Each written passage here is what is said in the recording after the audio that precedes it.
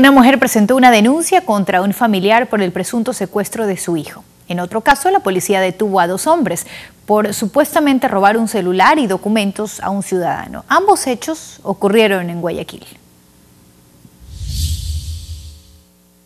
Los dos involucrados fueron llevados a la unidad de flagrancia, uno de ellos es menor de edad. La aprehensión se da cuando las autoridades fueron alertadas por una persona que había sido víctima de robo de su celular y documentos en el sector de la Nueva Prosperina en Guayaquil. En ese entonces nosotros actuando en flagrancia logramos la aprehensión en persecución ininterrumpida de dos ciudadanos, uno de ellos eh, menor de edad.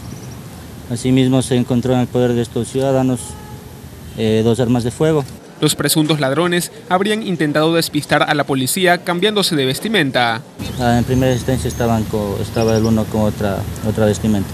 Entonces ingresaron los bloques para despistar, me imagino, eh, realizan estas actividades.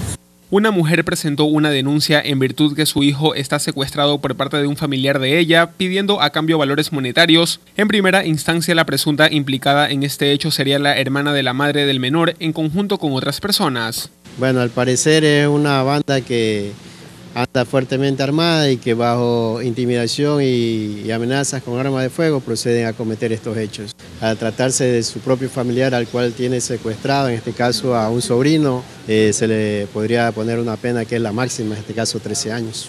Jorge Celi, Telerama Noticias.